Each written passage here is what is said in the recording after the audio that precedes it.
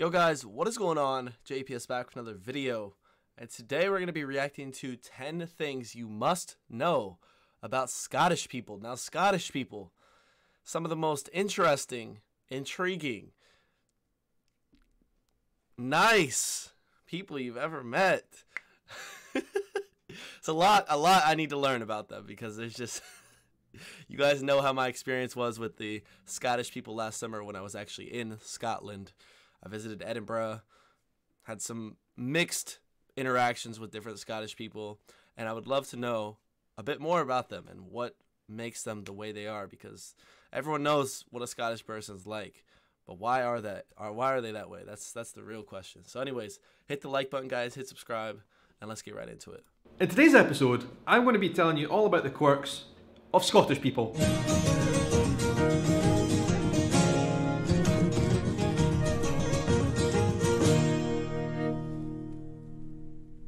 Hello guys, how's it going? Welcome to my YouTube channel. My name is Sean. I am a vlogger from Edinburgh in Scotland. Of course. Now listen guys, Scotland has become an increasingly popular place for tourists. There are a lot of people coming from all over the world, which is absolutely amazing. And in fact, there's a lot of people watching my YouTube channel now from everywhere interested in Scotland, and I think that's absolutely incredible, amazing. Thank you so much for joining in. It's really a great honour to have you here. And if you are new to this channel, please do hit the subscribe button. Share these videos with your friends and family. I would really appreciate it. A lot of people have these notions of what they think Scottish people are like. And for those of you who want to come to Scotland, for those of you thinking about it, or for those of you who just want to engage with Scottish people in general, I am putting together this short video for you. This video is going to be a kind of guide as to what Scottish people are like, and that will of course help you when it comes to interacting and dealing with Scottish people. There are a few things about us you should probably know, just so you can kind of get your way around Scottish people, the social situations you might find yourself in, all that kind of stuff. I have compiled a wee list. I definitely should have watched this before I, would made that trip. I definitely. oh. First thing you um, should know about Scottish people is that we are very proud. As Scottish people, as a nation, yeah. Scots are extremely proud of who we are, what we are, what we have achieved as a small country. For example, we will tell anybody who will listen about amazing Scots who have ventured the world and invented amazing things and who have changed the whole entire world through their way of thinking, through their inventions. And in fact, I think that could be a video in its own right, Scottish inventions. Alexander Graham Bell, John Logie Baird, Alexander Fleming. We're proud of our social makeup, we're proud of the way we are as Scottish people. I think the Scots invented uh, penicillin.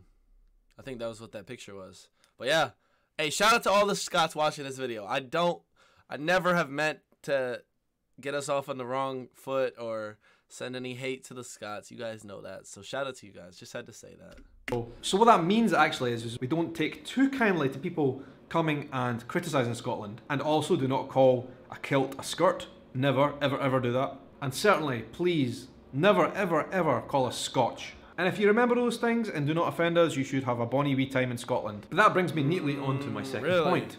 Because Scottish people, despite the fact that we're very proud of Scotland and being Scottish, we are also very, very self-depreciatory. What that means is we like to take the piss out of ourselves. And we'll do that with a lot of frequency. And it doesn't matter in what type of company we're in. And in fact, especially if we're in the company of foreigners, we like to have a joke about ourselves as well. As I say, we might be proud about the good things we've done. We also like to make a lot of jokes about the things we're not so good at. Despite those jokes, we don't often appreciate them from people from elsewhere, especially from certain places. Oh. But nevertheless. Oh. Oh. Okay. Well, that's the thing, bro. You can't have it one way. If you're gonna talk, you got to be able to take it. The English got it down, I think. I can take the piss out of the English. They don't care.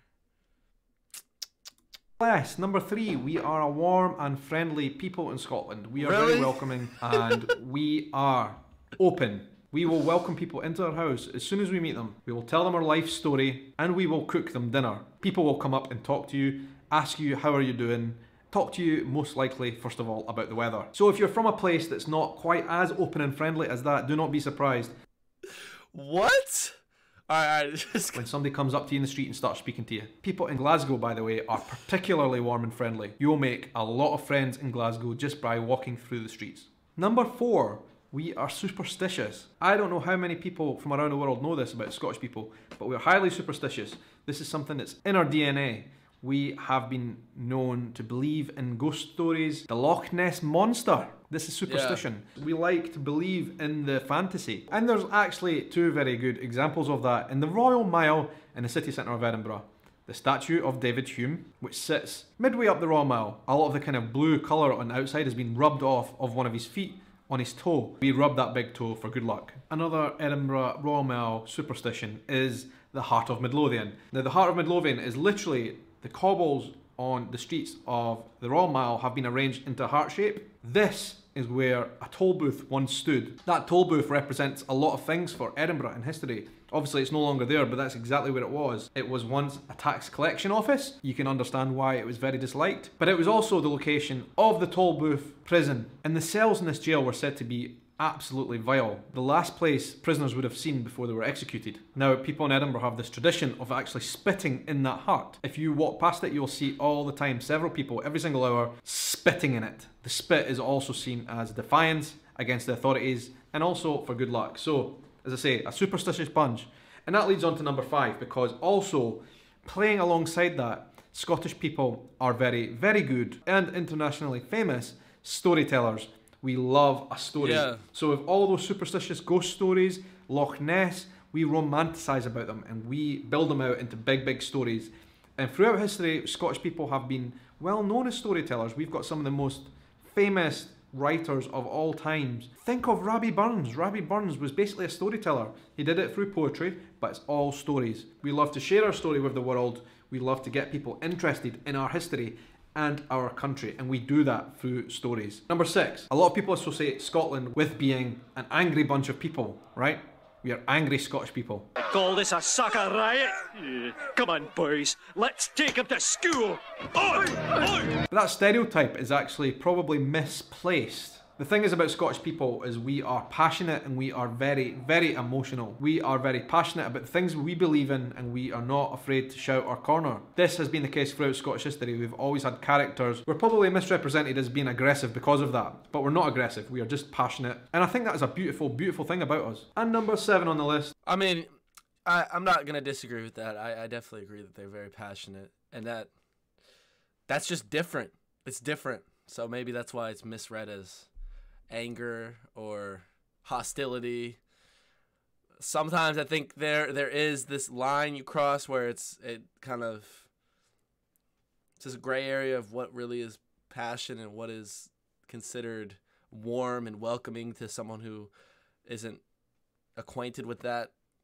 I don't know. I Let's see what he says. Let's let's finish the list off before I add. The fact that we are very expressive people as well. Yeah. So as well as being emotional yeah. and as well as being good storytellers, we're also very expressive. We're very good at projecting ourselves through voice and through the way we, just our presence. We have this way about us as Scottish people, and it's not just in front of an audience. One on one, we're very expressive people. We will talk to you in a very open, frank, and expressive way. You know, we speak a lot with our hands, we will engage people with eye contact. That's very, very important to us Scottish people. Having good eye contact is the measure of honesty. So when you come to Scotland and we are right up in your face and talking to you very directly, just remember it's quite a normal thing in Scotland. And number eight on the list, we are very welcoming to foreigners. Scotland is a very open country, and this is something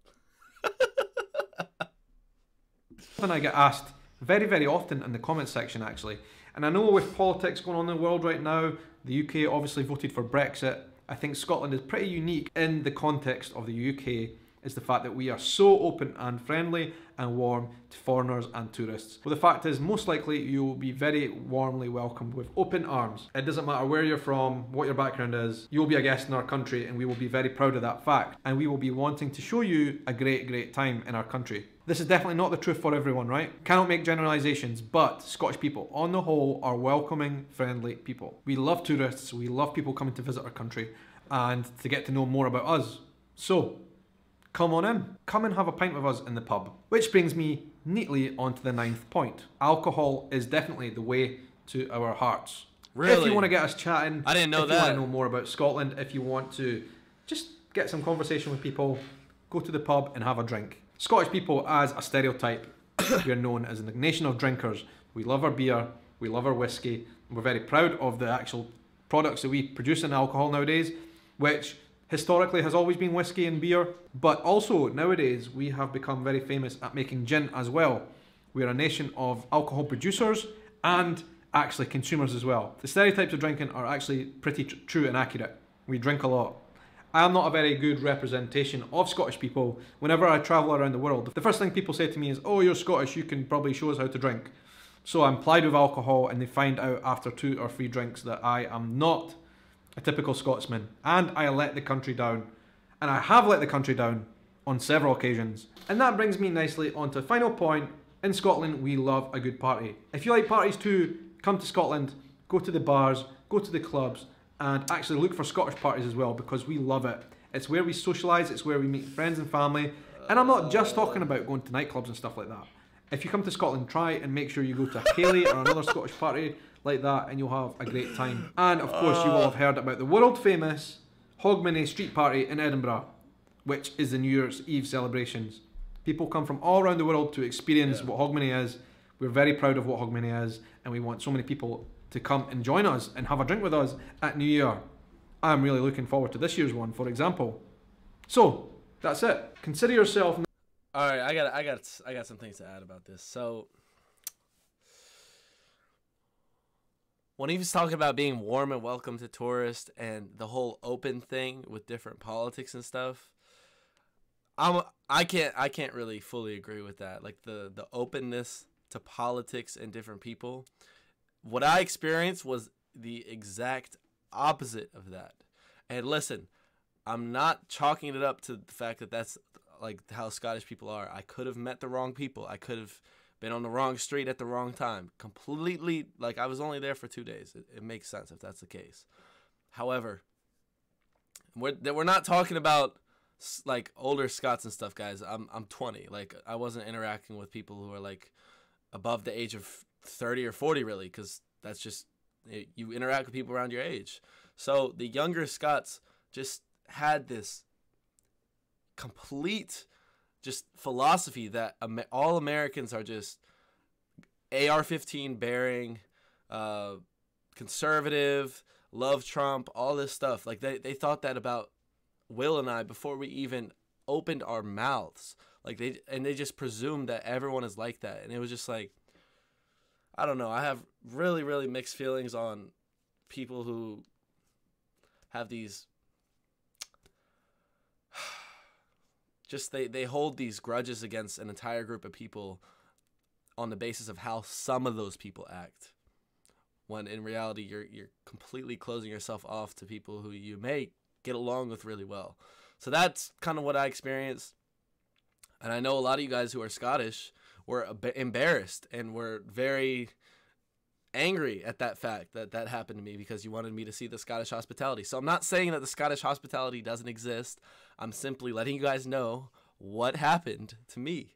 And you can go rewatch the vlogs. I'm not like sugarcoating this or exaggerating. That is exactly what happened. Ex- like to the dot. In fact, more than that happened. I, I just can't say it on camera because of how crazy it was. But uh, yeah, I, at the end of the day, I would definitely love to revisit Scotland and give it another try. And I, I'm not saying I didn't have fun when I was in Scotland. I had a ton of fun. That it was mainly the first day that was just really rough. And honestly, I wanted to leave. Like I told Will, I was like, bro, I don't really want to be here anymore. Like this is this is so bad. It was so unenjoyable. But just something you got to get used to. The cult, like the cultural differences, just the way the Scottish people talk is just insane. It's so different to how Americans talk, and a lot of Americans would take some heavy offense to it just because of the cursing. The c word is just in every sentence. First of all, but it's just that's that's how it is. A lot of people interact in different ways, and like I said, I'm definitely gonna revisit Scotland at some point. And Glasgow, I think is where I want to go. Glasgow is where I want to go. I've already been to Edinburgh. I've seen a lot of Edinburgh. Maybe could stop by, but I there's not really much of a point. A lot of people told me that Glasgow is where I would have a bit a better time. So that's that's what's on the itinerary next time. Anyways, let me know if there's anything this guy missed. I thought it was a pretty good video and looking forward to checking more out from this guy's channel. because I'm pretty sure he moved to America and does his own vlogs of like a Scots perspective on the United States, which is really interesting, and I'm glad he's doing that. But yeah, guys, hit the like button, hit subscribe, and I'll catch you all in the next one. Peace.